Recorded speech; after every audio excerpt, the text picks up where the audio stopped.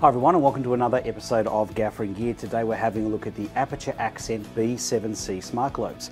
These boast an internal battery that can power the light for up to 70 minutes at full power. They have manual CCT presets, a quick operation, as well as manual dimming. Via phone app you have a CCT range from 2000 to 10,000 Kelvin and a full HSI colour mode.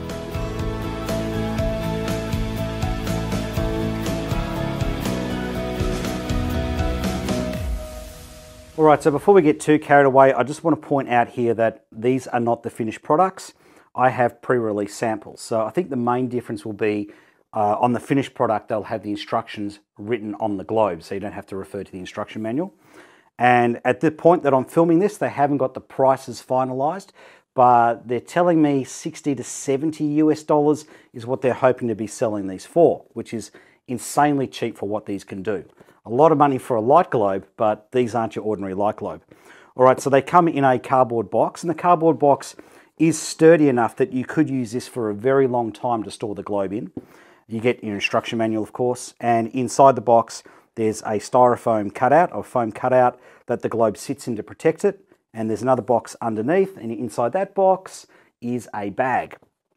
All right, so you get the globe, you get a bag, and you get the box. So um, that doesn't sound all that impressive, but wait until you see what this can do. Okay, smart globes are nothing new. They've been around for quite some time. So here's one I looked at um, a couple of years ago. I thought this was going to change the way I work on set because I could dial in a color temperature, I could dial in a color, for example. Beautiful, no worries at all. But here's the big point of difference between the Aputure globe and pretty much every other smart globe I've come across, and that is no manual control on the other globes. Now, the vast majority of the time when I'm using a globe, I just want it to be 3200 Kelvin or 5600 Kelvin and dimmable. That's all I want. I don't want to have to run it through a phone app or like this thing through a Wi-Fi network. I can't be bothered with all that detail. I just want to turn it on and plug it in. That's it. So the Aputure unit has three, three buttons on the globe. So you've got a power button, now, the first time you go to use this in your, in your, uh, in your setup, you'll need to hold the power button down for five seconds to activate it. Then after that, you can just press the button a uh, single time to turn it on and off. Now, if I press that button twice, if I give it two quick clicks, it scrolls through its CCTs. Okay, so it's got CCT presets. So I just keep pressing that a couple of times, I'm scrolling through. Okay, so I think that's, uh, that's 3200 Kelvin there. And the other two buttons here are plus and minus. Okay, so I can dial in my brightness. So manually I can go down to 10%. Now the other thing I like is I can do these adjustments, the, the Kelvin adjustments and the brightness adjustments, in my hand here because it's got a built-in battery. And then when I screw it into the fixture, the, if the fixture is powered off AC, that'll then run the globe and charge the battery. Now when you're operating off app, you do have complete control over your CCT range and you can dim in 1% increments from 100 down to zero. Now, of course, the next point of difference is this has a built-in battery. So it'll run for 70 minutes at full brightness off the internal battery. Now, the internal battery comes in handy in this situation where this didn't fit into the socket or I want to run it upside down so I have a graduation. So I can do that. Now, um, 70 minutes at full power, that's at 5,600 Kelvin or 3,200 Kelvin. So if you're using a color like this, which is using less emitters, you're going to get a longer runtime at full power. So the next thing I want to talk about is just go over the features of it. Think about this as a mini Nova. So it's got the same CCT range, 2000 to 10,000 Kelvin, although when I tested this it only got to about 9000 Kelvin and from 2500 Kelvin, its color scores are almost identical to the Nova. It's just 1% lower. Below 2500 Kelvin, I'd consider this light to be largely decorative. Unlike other lights that go down to 2000 Kelvin, this does not have an amber emitter, and it shows. It had a very lousy TM30 color render score of 55, and the color vector is massively out of shape. However, from 2500 Kelvin onwards, up until about 7300 Kelvin, the color scores are fantastic out of this. You're typically looking at plus 94 and even scores as high as 95. So even though this is designed to go into a domestic fixture, you could use this as a key light. There's plenty of color render there for good skin tones and good color rendition. Now, just like the Nova, right up at 10,000 Kelvin, this thing still has a score of 92. Now, as I said earlier, these are full color gamut, which means they're using all of their color emitters in all of their modes. So, for example, in the CCT mode, this isn't a bicolor light. It's actually using its warm white, cool white, red, green, blue emitters all together to vector into an accurate white point. So this tracks the Planckian curve. Also in the HSI mode, which is operatable via app, it uses all of those color emitters. So when you desaturate it to a white point, it actually desaturates to white color emitters, not to some crappy RGB mix like some other lights do.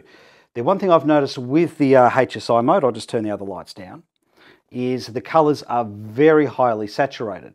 So highly saturated, in fact, that um, if you take a reading at 50% saturation with a meter, it'll still read as 100% saturated.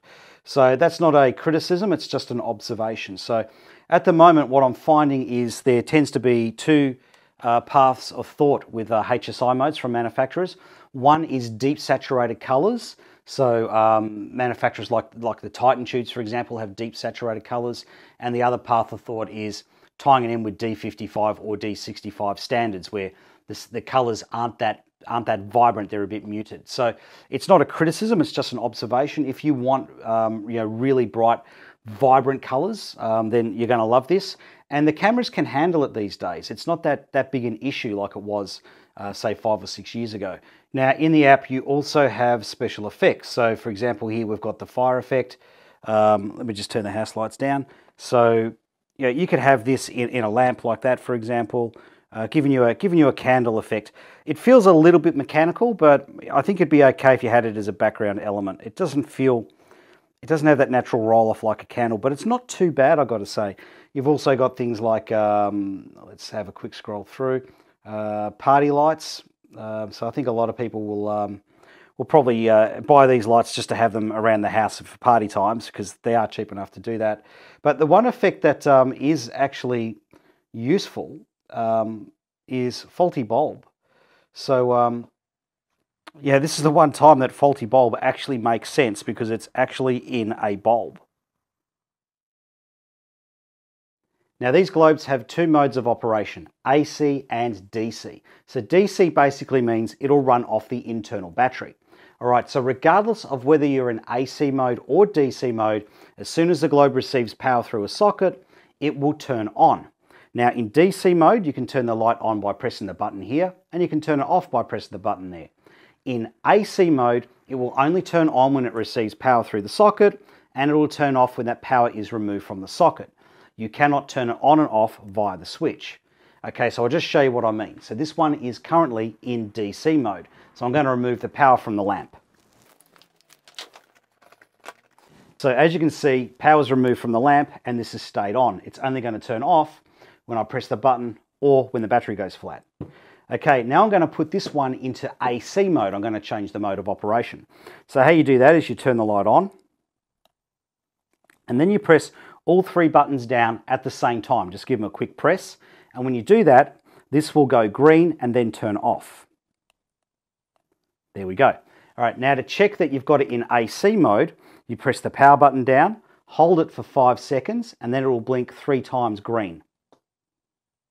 Okay, so that means it's in AC mode. So if you've got a globe and you can't turn it on and you're trying to run it in DC mode, just hold the button down to see if it's in AC mode. And then it will flash three times. Okay, so that's telling me it's in AC mode. Okay, so I'm going to put it in the lamp. Now when I turn the power on to the lamp, the globe will turn on. And when I turn the power off, the globe will turn off. So that comes in handy if you're doing the gag where you want the actor to turn a light off or if you've got the globes in your ceiling and you want to turn them off without having to go up a ladder. Now, if we want to get it back to DC mode, turn the light on, hold the button down until it starts flashing green, and then press all the buttons at the same time. It'll go a solid green and then turn off. Okay, then press the power button down, hold it for five seconds, and it should turn on in DC mode. Now in this video, I'm not going to go through the phone app because that'll take too long and I've done it in other videos, but I am going to show you how to link the light to the app. So the thing to understand here is you're not linking the light to a device, you're linking it to an account. Okay, so what I mean by that is if I link the light to this iPad, tomorrow when I use my phone, I don't have to relink it, okay? It'll automatically be linked to everything that's uh, linked to my account. So when you download the app and put it in your device, you have to enter in your email address and password, all right? So that's why you have an account. All right, so uh, in order to link this, what you need to do is unlock it to, to allow it to be locked to um, your account. So how you do that is you press the power button and the minus button or the power button and the plus button simultaneously and hold them down for five seconds. So let's do that. And after five seconds, it'll flash red, green, blue, and white. Let's have a look, red, green, blue, white. So that's ready to be linked. Now I've done that on the other globes. Now the next step is open up the app, uh, set up a scene. Click on that scene, you'll see the green plus button. Click on that and it'll let you know which devices are available to be linked to your account. Link, uh, select all to link them and press setup. Now it does take a little bit of time to set up the link. Okay, 100% successful, click OK. Now all three lights are linked into your software. To figure out which light's which, you just press the button and that light will flash.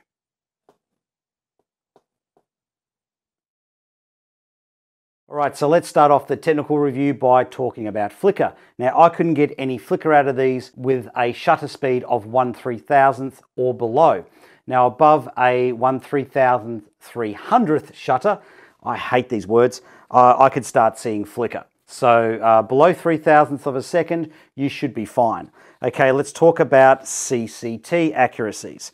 Okay, between 2000 and 2500 Kelvin, the most the units were out by was minus 94 Kelvin. Between 2500 and 3000 Kelvin, they were typically out on average by only minus 16 Kelvin. Between 3000 to 4000 Kelvin, they were typically out by only minus 15 Kelvin. Between 4000 to 5000 Kelvin, they were typically out by minus 63 Kelvin. And between 5000 to 6000 Kelvin, that jumped to an average accuracy of minus 98 Kelvin. Now when I dialed in 10,000 Kelvin, I only got 8,996 Kelvin. Now let's have a look at color render starting off with our SSI scores. At 3200 Kelvin, tested against the 3200 standard, these scored an impressive 85. At 5500 Kelvin, tested against the CIE D55 standard, these scored an impressive 75.